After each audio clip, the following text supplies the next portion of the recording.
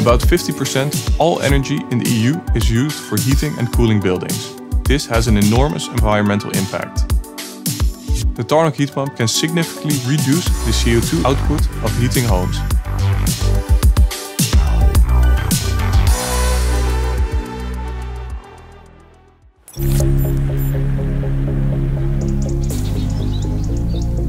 Tarnoc is developing a one-on-one -one replacement for gas boilers in households.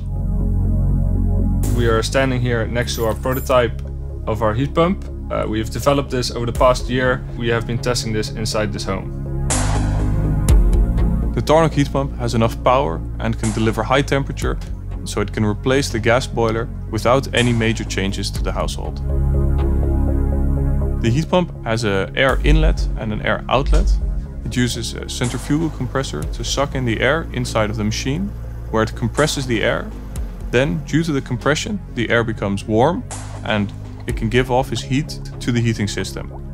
Then it goes back through a turbine, expands, and the air cools back off and gets blown outside of the house. This system makes it possible to efficiently heat a home without the use of natural gas, thus saving a lot of CO2. The heat pump heats the home entirely using electricity. This electricity can be generated using solar panels or wind turbines.